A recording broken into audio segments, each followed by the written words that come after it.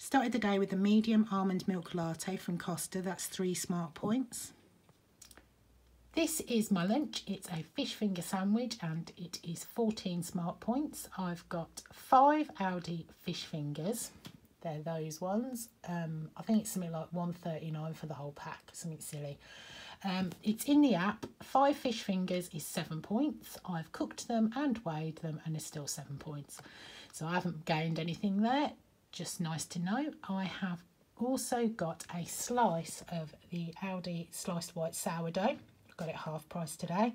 I was going to have two, but that would just be greedy. So it's a huge slice of bread. Um, I've weighed it and it is 103 grams, which is seven smart points.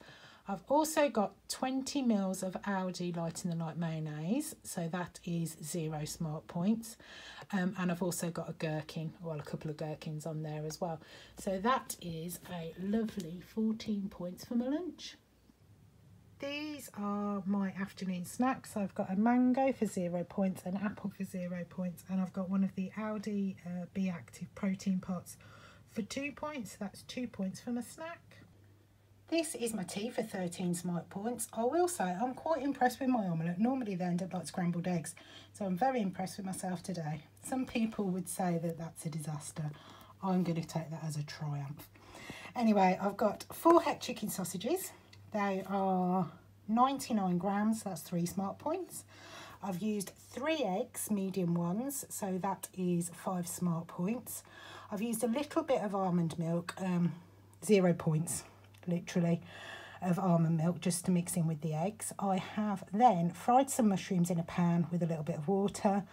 I added three bacon medallions, which I weighed. They're 83 grams, so that's two smart points. I then waited till they're cooked and added 70 grams of the Eat Lean protein cheese. And then, just because I found it in the free, fridge, I've got some Aldi chorizo. I've got three slices, which is two smart points. I think that's 18 grams, so it's two smart points. So that is my tea for 13 smart points. These are my evening snacks for 8 smart points. I have got some of these Kellogg's protein pack with nut seeds and almond butter. I got those from Heron. Um, they are four smart points each. I've got lentil curls from Aldi. They are three smart points. I've got an apple and banana for zero and two cans of Diet Coke for zero. I'm ending the day on 39 of 30 smart points.